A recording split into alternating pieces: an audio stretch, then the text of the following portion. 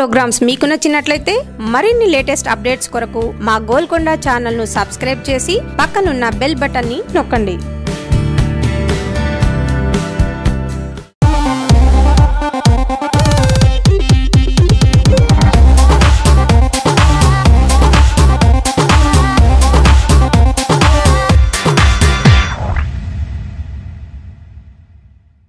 Hi viewers welcome to cinema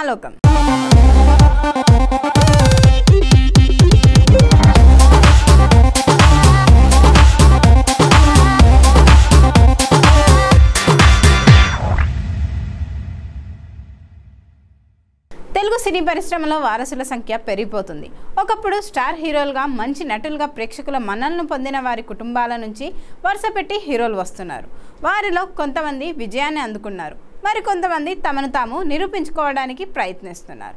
తాజాగా mega family నుంచి మరో హీరో వచ్చారు. ఆయనే చిరంజీవి చిన్నల్లుడు శ్రీజ భర్త కళ్యాణ్ దేవ్.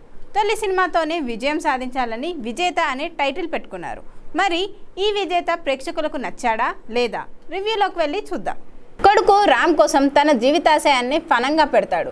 భార్య బిడ్డల కోసం తనకెంతో ఇష్టమైన ఫోటోగ్రఫీని పక్కన పెట్టి ఓ ఫ్యాక్టరీలో ఉద్యోగానికి చేరుతాడు.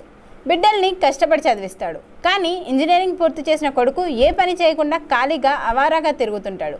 ఉద్యోగం కోసం ప్రయత్నాలు చేస్తూ విఫలమవుతూ ఉంటాడు.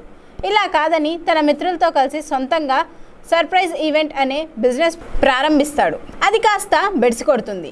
అయితే జీవితం కుటుంబంపై బాధ్యత లేని తన కొడుకును చూసి శ్రీనివాసరావు కుమిలిపోతాడు.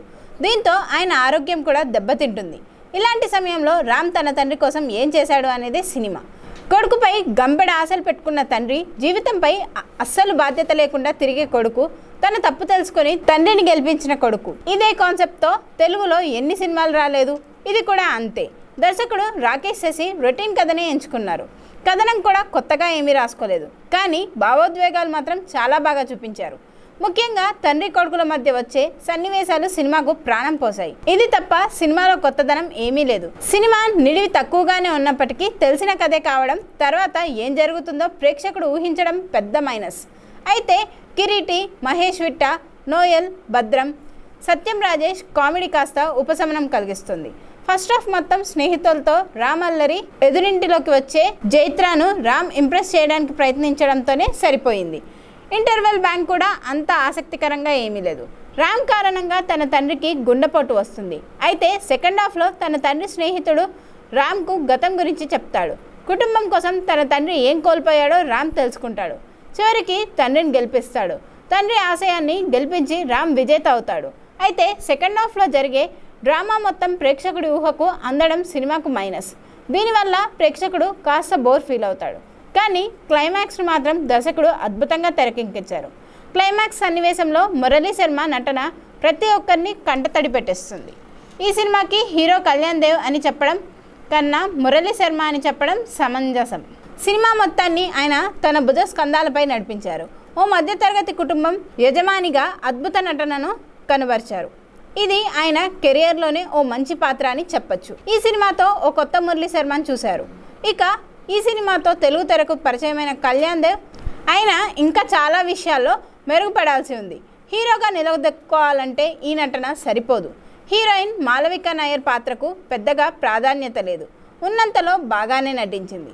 తనికెళ్ళ బన్నీ జయప్రకాష్ రాజీవ్ కన్కల తదితరులు తమ తమ పాత్రలకు న్యాయం చేశారు. సినిమా నిర్మాణ విలువలు చాలా బాగున్నాయి. నిర్మాత సాయి కొరపాటి చాలా రిచ్గా నిర్మించారు. సెంథల్ కుమార్ సినిమాటోగ్రఫీ సినిమా స్థాయిని పెంచింది.